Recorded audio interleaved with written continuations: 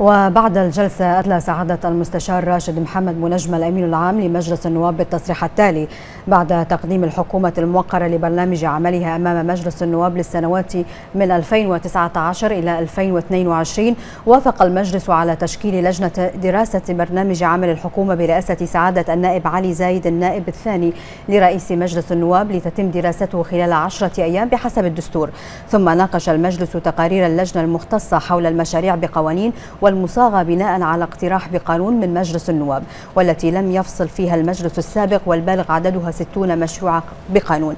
وقد وافق المجلس على توصية لجنة الشؤون التشريعية والقانونية بالتمسك بخمسة مشاريع قوانين إضافة بعدم التمسك بمشروع قانون بإضافة مادة جديدة إلى قانون تملك مواطني دول مجلس التعاون.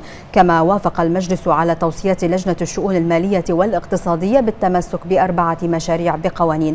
تمسكت شاركت لجنة الشؤون الخارجية والدفاع والأمن الوطني بثمانية مشاريع بقوانين فيما وافق المجلس على توصية اللجنة بعدم التمسك بمشروعين.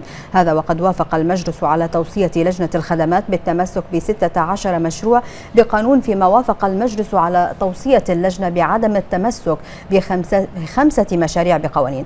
فيما لم يتفق المجلس مع توصية لجنة الخدمات بعدم التمسك بمشروع قانون بشأن التعليم حيث أعيد التقرير للجنة لمزيد من الدراسة.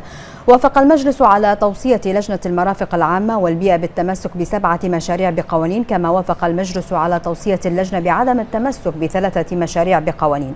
في البند الخامس من جدول أعمال الجلسة وافق المجلس على تشكيل اللجان النوعية الدائمة وهي لجنة حقوق الإنسان لجنة الشباب والرياضة لجنة المرأة والطفل لجنة مناصرة الشعب الفلسطيني فيما أحيلت عضويات السادة النواب في اللجان المذكورة لهيئة المكتب لمزيد من الدراسة. كما وافق وافق مجلس النواب على إحالة ثلاثة اقتراحات برغبة بصفة الاستعجال للحكومة الموقرة بشأن منح تخفيض رسوم البلديات وبشأن استثناء توريدات الكهرباء والماء من تطبيق ضريبة القيمة المضافة وبشأن استئناف صرف علاوة بدل السكن للمستفيدين في مشروع شرق الحد الإسكاني.